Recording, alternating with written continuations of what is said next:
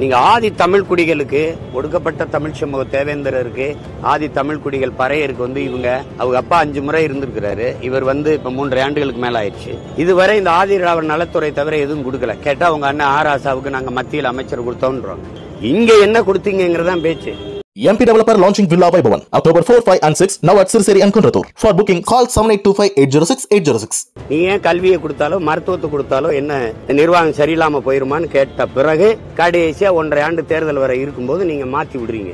உளமாற நீங்க செய்யறதா இருந்தா உங்க அப்பா அஞ்சு முறை முதலமைச்சராக கொடுத்துருக்கும் இல்ல நீங்க பதவி பெற முத முத ஆட்சி அமைக்கும் போதே கொடுத்துருக்கணும். என்ன தகுதி இருக்கு செங்கல் காட்டிட்டாருங்கிறாங்க செங்கல். வச்சது யாரு? வச்சது யாரு? எய்ம்ஸ் மருத்துவமனைக்கு வச்சது யாரு?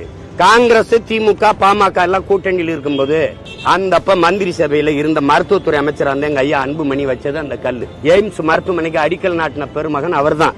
கூட இருந்தது காங்கிரஸ் நீங்களும். இத்தனை ஆண்டுகள் ஆயிடுச்சு. கட்டளை இப்ப முப்பத்தொன்பது உறுப்பினர் போன முறை கொண்டு போனீங்க. இந்த முறை நாற்பது என்ன பண்ணிட்டு இருந்தீங்க?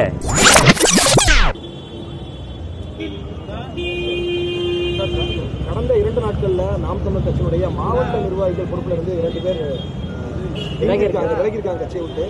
தொடர்ந்து தலைமை மீது அதிருப்தியான குற்றச்சாட்டுகளை முன்வைக்கிறாங்க. அது இருக்கிறதா? அது இருக்கிறதா தம்பி? போகும்போது இருப்பாங்க.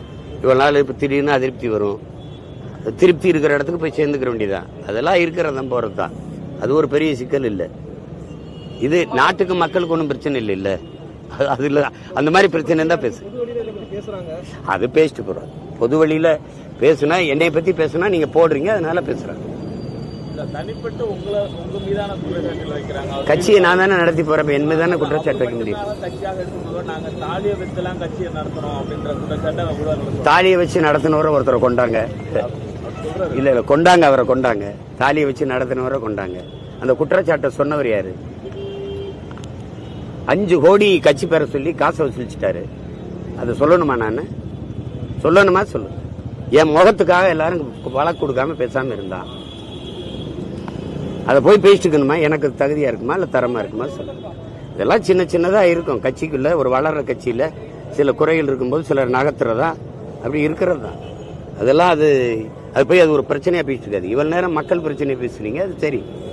அது என் கட்சி பிரச்சனை அது என் பிரச்சனை. அதை நான் எதிர்கொண்டுக்குருவேன். அது நாட்டுக்கும் மக்களுக்கும் பிரச்சனை இல்லை. வேற. மாற்றம் நாற்பது மாதங்கள்ல மூன்று அமைச்சரவை மாறி அந்த மாறுதலை நான் பெருசா ஏற்கலை ஏற்கல ரசிக்கல. ஆனா உங்கள் உங்க எல்லாருக்கும் ஒன்று சொல்லணும். நீங்க ஆதி தமிழ் குடிகளுக்கு ஒடுக்கப்பட்ட தமிழ் சமூக தேவேந்திரருக்கு ஆதி தமிழ் குடிகள் பறையருக்கு வந்து இவங்க அவங்க அப்பா அஞ்சு முறை இருந்திருக்கிறாரு. இவர் வந்து இப்ப மூன்றரை ஆண்டுகளுக்கு மேல ஆயிடுச்சு. இதுவரை இந்த ஆதி திராவிட நலத்துறை தவிர எதுவும் கொடுக்கல. கேட்டா உங்க அண்ணன் ஆராசாவுக்கு நாங்க மத்தியில் அமைச்சர் கொடுத்தோம்ன்றோம். இங்க என்ன கொடுத்தீங்கிறதான் பேச்சு. திரும்ப திரும்ப நான் வந்து வலியுறுத்தி வலியுறுத்தி வலியுறுத்தி நாங்க பேசுறதுனால இப்ப ஆதி தமிழ் குடிகளின் வாக்கு தேவேந்திர மக்களின் வாக்கு என்னை நோக்கி திரும்புதுன்னு நீங்க பொது தளத்துல கொண்டு போய் அவரை உயர்கல்வித்துறைக்கு போடுவீங்க நானே கேட்டேன். நீ ஏன் கல்வியை கொடுத்தாலோ மருத்துவத்தை கொடுத்தாலோ என்ன நிர்வாகம் சரியில்லாம போயிருமான்னு கேட்ட பிறகு கடைசியா ஒன்றரை ஆண்டு தேர்தல் வரை இருக்கும்போது நீங்க மாத்தி விடுறீங்க.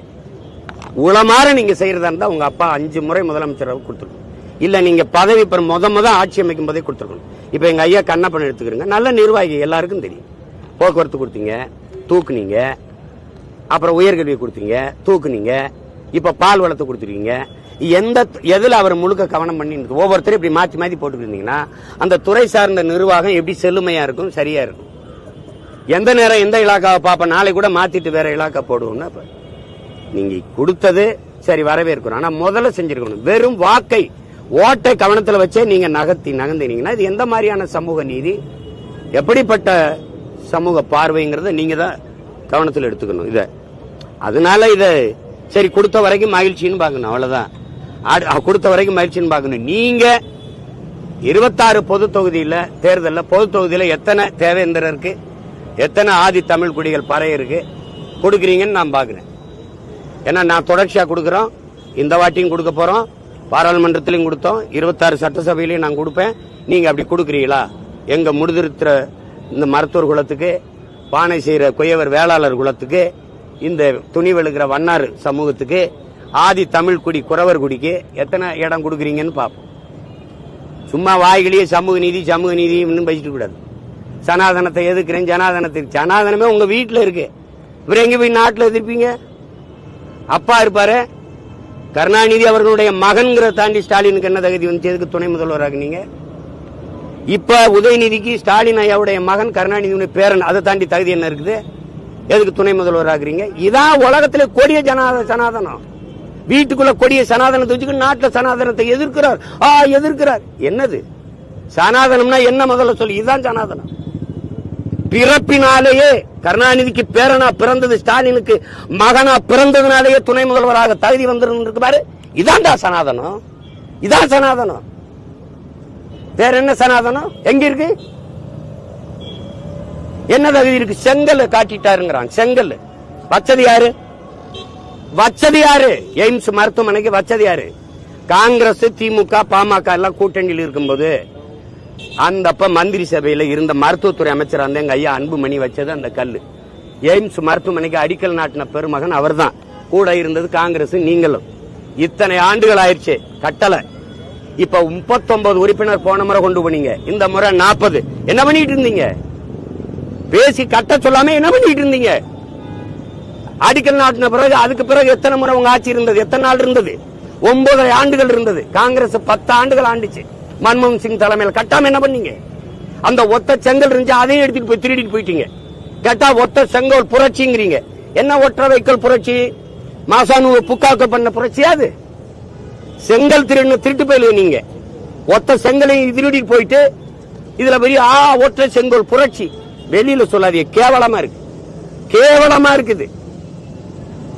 கேட்டா சனாதனத்தை எழுத்துட்டாரு அப்படின்னு. எழுத்து சனாதனத்தை வீட்டுக்குள்ள வச்சுக்கிட்டு கல்லாப்பட்டியில் வச்சு பூட்டி வச்சுக்கிட்டு நாட்டில் ஒழிக்கிற ஒழிக்கிறெல்லாம் பேசிட்டு அலையாதீங்க. சனாதனம்.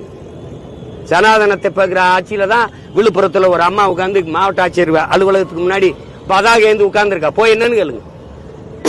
ஒளிங்க முதல்ல. MP Developer launching Villa by October 4, 5 and 6 now at Sirseri and Kunratur. For booking call 7825 806 806.